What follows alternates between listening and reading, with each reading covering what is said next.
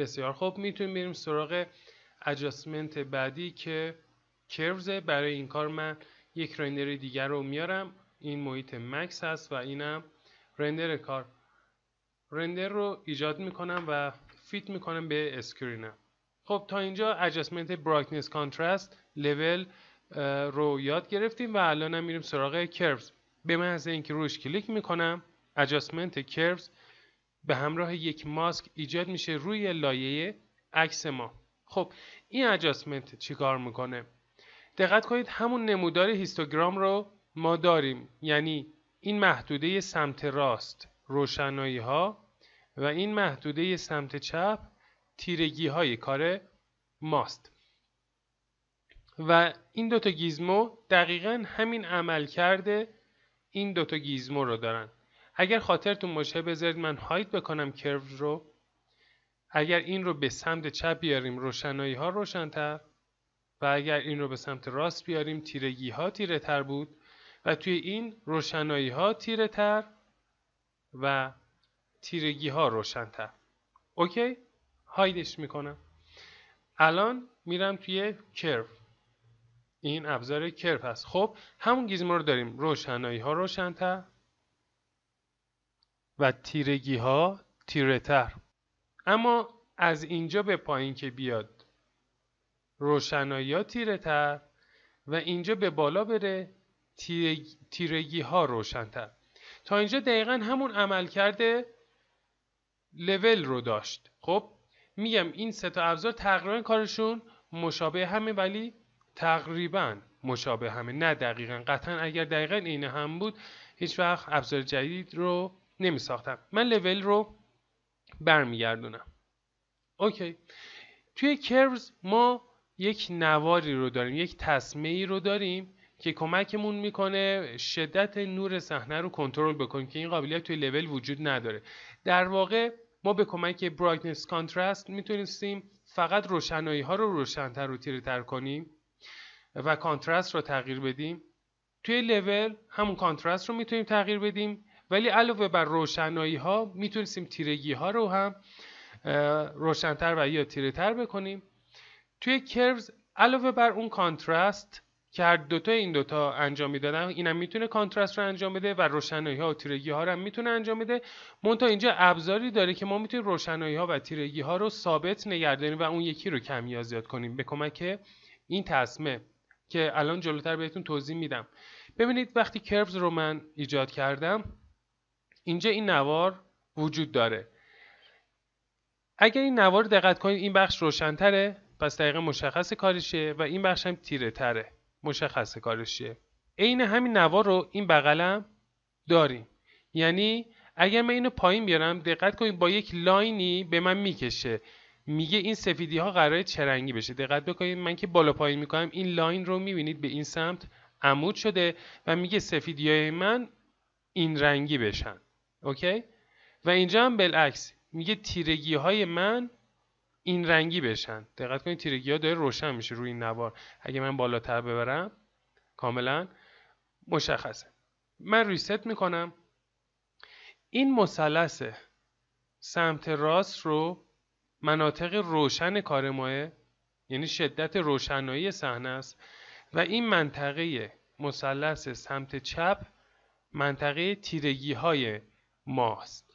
دقت بکنید میزان تیرگی توی صحنه خیلی زیاده. دقت کنید توی این مثلث من حجم زیادی رو توی هیستوگرام دارم. من می‌تونم اینجا یک کلیک بکنم. دقت کنید یک نقطه ایجاد شد.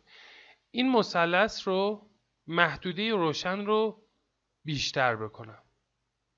دقت بکنید پس محدوده روشن من به این میزان این خطه به صورت پیشورز و شماتیک اونجا وجود داره. این محدوده از تاریکی ها رو من گفتم بیاد تحت پوشش این روشنایی قرار بگیره. به خاطر این تصویر روشنتر شد.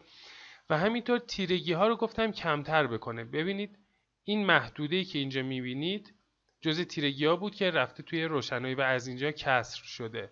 و من بیشتر ببرم صحنه روشنتر بشه و بالعکس اگر بیارم پایینتر روشنایی من کمتر شد و این تیرگی ها بیشتر میشه. خب پس ما می‌تونیم اینطوری کنترل داشته باشیم. فرض بکنید نمی‌خواید این نقطه رو. چیکار می‌کنید؟ می‌تونید بگیریدش سریع بکشینید به این سمت خودش ریست میشه از بین میره. این نقطه رو مثلا من اینجا دارم اینجا این نقطه رو دارم. می‌کشم سریع ریست میشه. برای اینکه دونه دونه اون نقاط بره. اگه نقاط زیادی داشتید کلا می‌خواستید این ابزار یا در واقع اجاسمنت ریست بشه که می‌تونیم روی این دکمه کلیک بکنیم. خب این قابلیت وجود داره که ما مناطق روشن و تیره رو ثابت نگه داریم و اون منطقه مخالفش رو شدت نورش رو کم یا زیاد بکنیم. به چه صورت؟ فرض بکنید خب من دارم اینم روشنایی صحنه خیلی کمه و تیرگی ها خیلی زیاده توی این کار. می‌تونم بیام اینجا توی منطقه تیرگی ها یک کلیک بکنم. روی این نوار یا تسمه می‌تونم اینجا رو بگم که تیرگی ها روشنتر شه. ولی اگه دقت بکنید داره به صورت این این تسمه یه جوری هستش که داره منطقه روشنش هم تغییر پیدا می‌کنه. بنابراین ما باید اونجا رو قفل بکنیم. چیکار می‌تونیم بکنیم؟ من می‌تونم reset بکنم. اینجا یک کلیک بکنم. اینجا هم یک کلیک بکنم. و اینجا حالا بیام بگم توی مناطق تیره فقط روشنتر بشن. دقت کنید دیگه کاری به این بخش نداره. یا بالعکس من اینو می‌زنم اینجا یک کلیک می‌کنم. میگم فقط مناطق روشن تیره تر بشن و یا روشن تر بشن. اگر می‌بینید این داره اذیت می‌کنه باز نکنید مثلا اونجا داره اذیت می‌کنه. من می‌تونم اینجا یک کلیک دیگه بکنم قفل شه. اینجا هم یک کلیک دیگه کنم قفل شه. و دقت کنید دیگه کلا فقط داره مناطق روشن رو تغییر میده. من reset می‌کنم. هدف من اینه که مثلا اینجا که تیره تره روشن تر بشه. یک کلیک. اینجا هم یک کلیک. مناطق روشن قفل شدن و الان من می‌تونم بگم مناطق تیره کمی روشن تر بشن. دقت کنید من اگر hide و unhide ش بکنم می‌بینیم بدون اینکه تغییر توی مناطق روشن ایجاد بشه فقط مناطق تیره دارن روشنتر میشن. کار با این تصمیم خیلی راحته و جالبه. حالا اگر ما نخواهیم از این تصمیم استفاده بکنیم مثل یک کمند داره عمل می‌کنه ما می‌تونیم از مداد استفاده کنیم. ببینید وقتی من مداد رو می‌زنم می‌تونم به صورت دستی بکشم بگم که به این صورت باشه این کمند که خیلی دقیق نیست و من تا به حال ندیدم کسی استفاده بکنه از این ابزار. پیشنهادم نمی کنم که از پن می‌خواید استفاده کنید. شما می‌تونید به کمک همون کمنده این کار رو انجام بدید. ولی اگر دقت بکنید وقتی روی این حالت کمند وجود داره این ابزار خاموشه. برای اینکه نرم بکنه لبه های مدادی رو این ابزار رو ساختن. و به محض اینکه من از حالت pen استفاده می‌کنم این ابزارم میاد. و وقتی که محدوده ای رو مشخص می‌کنم میگم این به عنوان کمنده من باشه خب قطعا موس من داره بالا پایین میشه و کار رو خراب می‌کنه.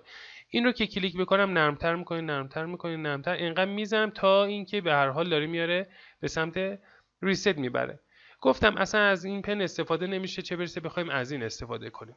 این دکمه هم هر جایی توی این adjustment ها شما این علامت تعجب رو دیدید؟ به محض اینکه روش کلیک بکنید یه محاسبه جدیدی رو انجام میده و اصلاح می‌کنه اون هیستوگرام و خودش از بین میره.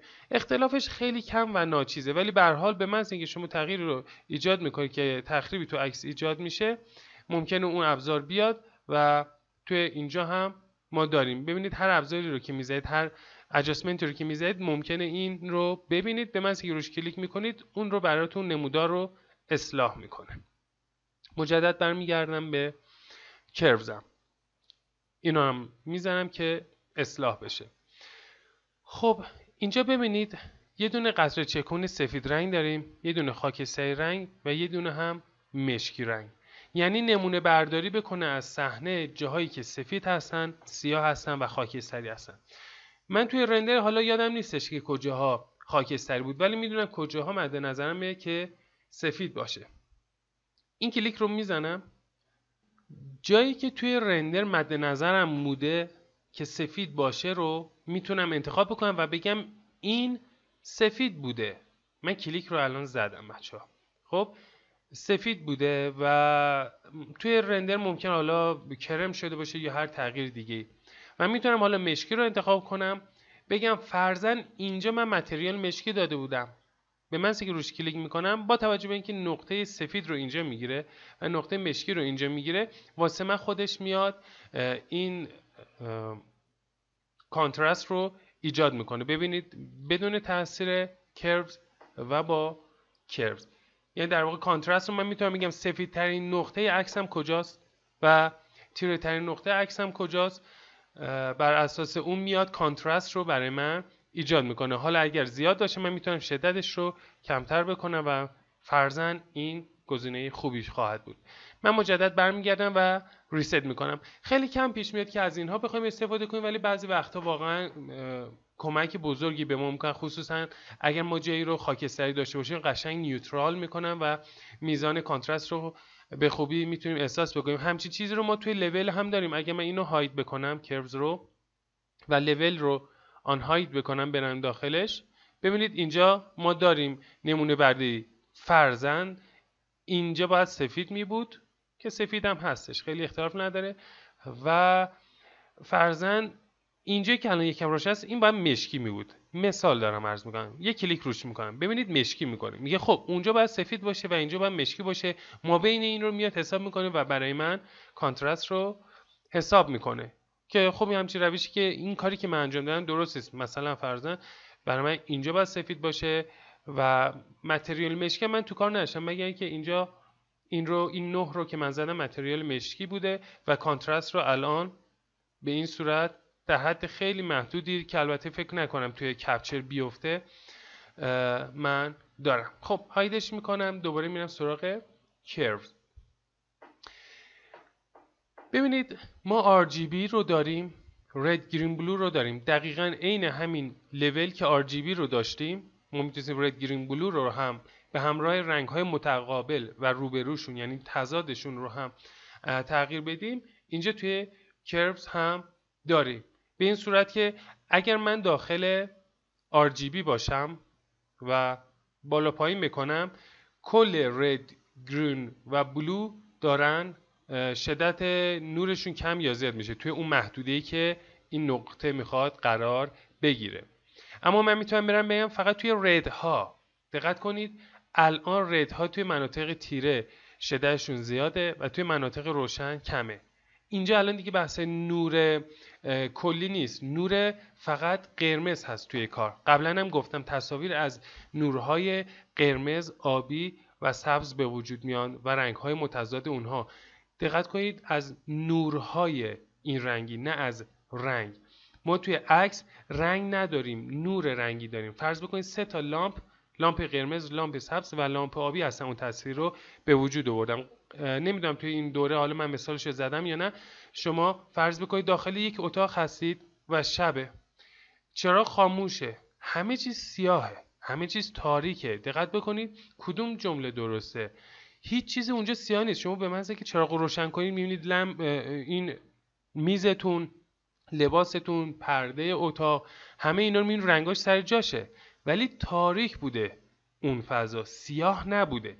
بر اثر کمبود نور ما اون رنگ ها رو نمی‌دیدیم. رنگ سیاه روی همه در و دیوار و اینا ما نکشیده بودیم. خب پس رنگ با نور فرق می‌کنه. خب اینجا هم ما نورهای رنگی رو داریم و بر اثر نور کم یا نور زیاد توی اون طیف رنگی تصویر تمش مشخص میشه. دقت بکنید من الان نور رد رو افزایش میدم و بالعکس نور red رو که کم می‌کنم می‌بینیم که cyan به وجود میاد. okay؟ یعنی من در واقع میزان نور red رو کم کردم. okay؟ من اینو reset می‌کنم و بالعکس توی green هم داریم. میزان green رو من زیاد می‌کنم و حالا نور green رو کم می‌کنم میشه magenta. اینا رو قبلا توی لول من گفتم. توی blue هم همینطور. blue و yellow مخالف همن دقت کنید مثلا من می‌خوام مثل یک فیلم وسترن قدیمی در بیارم که حالت زردی رو داره یا همچین جایی می‌تونم بذارم. color correction توی زمینه color correction به شدت از این curves و level ما استفاده می‌کنیم. حالا انشالله توی دوره مخصوص color correction توی معماری حتما از تمامی تک تک این ابزارهای استفاده می‌کنیم از adjustment ها از این لایه ها دقیقا می‌بینید چه جور استفاده می‌کنیم و نورها و رنگ ها رو اصلاح می‌کنیم چون بالاخره با V-Ray شما همه کار رو نمی‌تونید به وجود بیارید. در نهایت کار بتونید 80 یا 90 درصد ماهیت کار رو به وجود بیارید. ولی بدون post production نمی‌تونید نتیجه خوبی رو بگیرید. مگر اینکه واقعا حرفه‌ای باشید و همه نتیجه دلخواهتون رو بخواید توی V-Ray به وجود بیارید که مستلزم صرف زمان و مهارت خیلی بالا هستش. به هر حال این طیف های رنگی رو ما داریم که در واقع نورهای رنگی هستن نه صرفا رنگ. و حالا من اینو ریست می‌کنم. حالت اوتو داره که پیشنهاد خودش رو داره به من میگه اینجا پیشنهاد بدی به من نداد ولی ممکنه جای دیگه این پیشنهاد خوب پیشنهاد خوبی به ما نده. ببینید بدون این اجاسمنت و با این اجاسمنت ما می‌بینیم توی مناطق تیره فضا روشنتر میشه و ما جزئیات رو می‌تونیم ببینیم. خب می‌تونید اول این رو تست بکنید و بعد بیاید تغییر بدید. ببینید خودش اومد وقتی اوتو رو زدم روشنایی ها رو قفل کرد و یک کوچولو اومد تیرگی ها رو افزایش. من می‌تونم اینو بیارم اینجا بگم اینقدر افزایش بده کنه. ببینید به این صورت این تغییر رو داریم. من ریست می‌کنم. اینجا هم باز پریست های آماده است که پیشنهاد نمی‌کنم. ازشون استفاده بکنید. ولی حالا می‌تونید برای به عنوان تست اینجا ببینید چه تأثیری توی کار دارن. من مجدد ریست بکنم. میمونه فقط این ابزار که کمک می‌کنه ما پیدا بکنیم دقیقا اون بخش از عکس. تو چه طیف نوری قرار گرفته. دقت کنید وقتی من این ابزار رو کلیک می‌کنم و موس رو توی سطح عکسم می‌برم توی این کادر روی این نوار من دارم یک دایره می‌بینم که داره به من میگه اون نقطه ای که این قطره چکون به عنوان نمونه برداری روش قرار گرفته جزء کدوم محدوده عکس است. ببینید من می‌برم توی مناطق تیره الان اینجا توی مناطق تیره قرار داره. اگر ببرم اینجا توی مناطق روشن دقت بکنید توی مناطق روشن قرار داره. اینطور من می‌تونم دقیقا پیدا بکنم. فرزن من می‌خواستم این محدوده که جز مناطق تاریک من هست رو روشنتر بکنم. به من که کلیک می‌کنم یه نقطه روی اون نمودار ایجاد شد و حالا می‌تونم اون رو بالاتر یا پایینتر ببرم. خب برای من ممکنه سخت باشه. دفعه اول نمی‌دونم مثلا این محدوده رو من می‌خوام روشن کنم. خب حدسی می‌تونم بگم که جز مناطق تیره منه. اوکی یا اینجا جز مناطق روشن منه. ولی اگر دقیقا مد نظرم این نقطه و این پیکسل و این رنگ هست می‌تونم این رو بگیرم و بعد میزان شدت اون رو کمتر بکنم. دقت بکنید. من الان دارم اینجا اون نقطه برای من ایجاد شده و دقیق تر می‌تونم کار بکنم. فرض بکنید اینجا جز مناطق تیره است روی نمودار که میرید الان میره به سمت مناطق روشن قاعدتا. نگاه کنید چون میرم توی مناطق روشن. و اینجا رو من کلیک می‌کنم یه نقطه ایجاد شد روی نمودار. حالا می‌تونم اینو پایین تر بیارم که یه مقدار جزئیات برگرده و اگر دقت کنید من اینجا می‌تونم جزئیات رو برگردم از شدت نور کم می‌کنم که حالا من می‌تونم از ماسک استفاده بکنم. یعنی یک براش انتخاب کنم با رنگ مشکی. بگم این اجاسمنت اینجا مثلا تاثیر نذاره.